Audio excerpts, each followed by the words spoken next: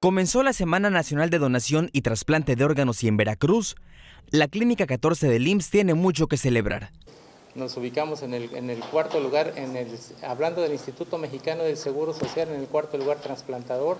Desde 1989 que este hospital empezó a trasplantar, llevamos 1.062 trasplantes. Este año eh, hemos alcanzado la cifra hasta este mes, 89 trasplantes.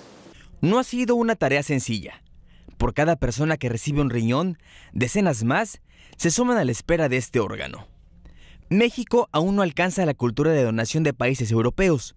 Sin embargo, la población cada vez es más sensible a este gesto altruista. La tasa de trasplantes renales, 80% eran trasplantes de donante vivo y 20% de donante que fallecía, ¿no? que tenía muerte cerebral. Yo creo que esto lo hemos ido revirtiendo aquí en el hospital, pero a lo mejor ya habremos cambiado un 70-30, lo cual, como tú comprenderás, un 10%, pues bueno, hace la diferencia. En el estado a la espera de un riñón superaba los 5 años.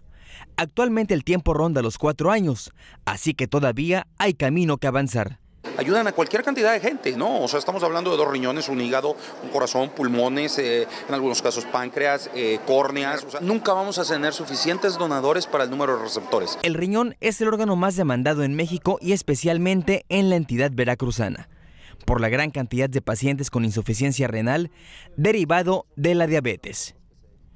Con imágenes de Alberto Blanco, Martín Ramírez, más noticias.